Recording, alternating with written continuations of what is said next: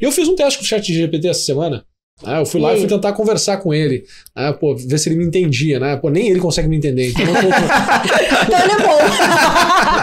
eu acho que pô, nem ele conseguiu me entender. Então, é, meio difícil, né? Entender se ele te entenderia. Não fluiu a comunicação, então. Não, não fluiu bem. A gente não, não, não ia conseguir ter, ter um bom relacionamento. Eu acho que não ia ser um relacionamento duradouro. Então ele ganhou meu respeito agora.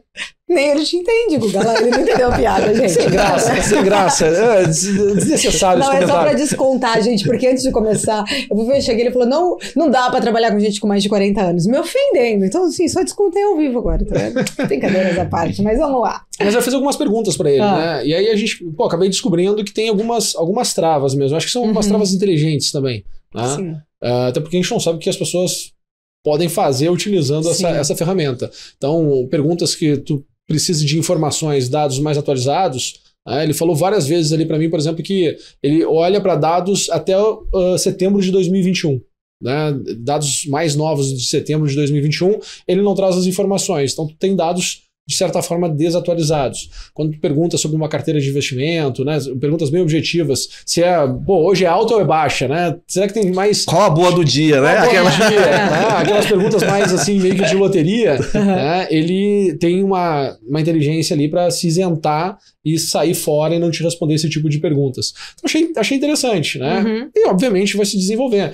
Acho que para uh, questões educacionais, para mim faz muito sentido. Ah, uhum. Eu tenho o chat lá aberto, então, por exemplo, ah, tem que solucionar algum problema específico, não sei algum tema. Boto ali rapidinho no chat GPT, pô, ele já me traz ali as informações. Quero saber as, inf as informações sobre a história de uma determinada empresa, quero conhecer uhum. melhor uma determinada empresa. Ele vai lá e me traz as informações. Quero entender sobre algum indicador, sobre algum múltiplo, quero fazer alguma conta. Aí ele funciona muito bem. Né? Mas então, assim, uh, acaba sendo uma inteligência né, artificial uh, que funciona a favor do ser humano que sabe o que ele está procurando. Uhum, não é aquela coisa, me diga o que eu tenho. Call, é, né? Não dá para chegar ali e falar assim, estou é. com dor de cabeça, o que eu faço? Né? Não, uhum. não dá para. Não dá para. Tu não vai ter essa solução, tá né? Como nível. eu faço uma cirurgia de, de córnea. Né? Não dá para. Não, dá, não, não é para isso, né? Você então, trouxe um, um, ponto interessante, até que eu vou jogar para o David aqui comentar, que você falou isso, né? É, tô com dor de cabeça. E aí me lembrou que, quando ele também falou na questão, o David, anterior ali, é, do cuidado que o investidor precisa ter ali na hora de também é, se basear muitas vezes em alguns tipos né, de orientações, vamos dizer assim, para tomar essa decisão. Me lembrou a questão que tem muito médico que critica, né? A gente, quando abre o exame, joga lá no doutor Google, né? E aí você fala, meu Deus, tô morrendo, mas também não era bem assim, porque eu não consegui interpretar o restante do resultado. Eu só fui naquele específico. E acho que esse ponto que ele falou aí, da dor de cabeça e do remédio, também me, me remeteu a isso. Como você, né, como um consultor de investimentos, eu não sei se também, como o papel do médico, deve vir muito, né? É, muitas perguntas. Não, mas eu vi isso, ou eu vi alguém falando daquilo, mas não contextualizado, talvez, em cima daquela carteira do investidor. Queria entender a sua visão, né, sobre o uso da, do chat GPT, se você acredita dos pontos positivos, igual o Guga falou, né, da educação, mas também do risco de você, de repente, se basear errado numa informação e tomar uma atitude, de repente, errada, né? Sim, é, acredito, como o Guga trouxe, a questão educacional uhum. é o uhum. principal ponto neste momento. Acho que tem muito ainda a desenvolver a plataforma com o passar do tempo. Uhum. É, existem já até algumas plataformas com a mesma inteligência artificial, com a mesma utilização ali, que traz dados mais atualizados. Mas eu acredito que é, é, difícil a gente brigar com a tecnologia. Cada vez mais uhum. isso vai estar presente no nosso dia a dia. Mas ainda muito a ser desenvolvido.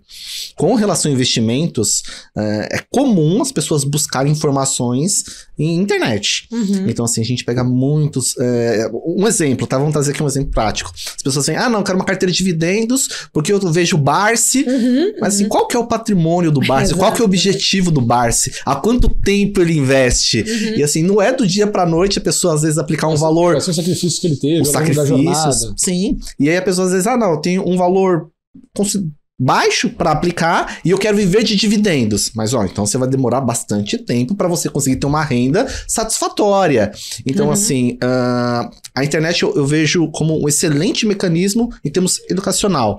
Agora, quando a gente já fala de investimento prático, você precisa uhum. de um uhum. profissional. Da mesma forma como, como o Guga trouxe, quando ele mencionou a questão de um medicamento. Você na internet muitas vezes saber para que aquele medicamento serve, vai conseguir constatar até preço. Agora, quem vai poder prescrever aquela medicação? Um médico, um profissional. Alguém foi treinado para isso. Alguém que foi Até treinado. porque não é só o conteúdo, né? Exato. O conteúdo, ele, ele, ele te ajuda a tu... Pô, existe uma situação que tu tem que interagir. É. Pô, ter um pouco mais de consciência sobre... Pô, Uhum. maravilhoso, né? Só que depois parte do ponto de tu conseguir analisar o contexto, analisar a situação e ter que tomar uma decisão. Tem que tomar uma, uma, uma postura dentro de uma determinada situação. Então, mas, tá, ok, o conteúdo ajuda, porém não, não te traz junto a prática, não te traz ainda a experiência para lidar com uma situação, né? Uma inteligência emocional para lidar com uma determinada situação, né? A ponto de tu conseguir tomar uma decisão alinhada com aquilo que de fato tu precisa. Seja área de saúde, seja área de investimento, seja o que for.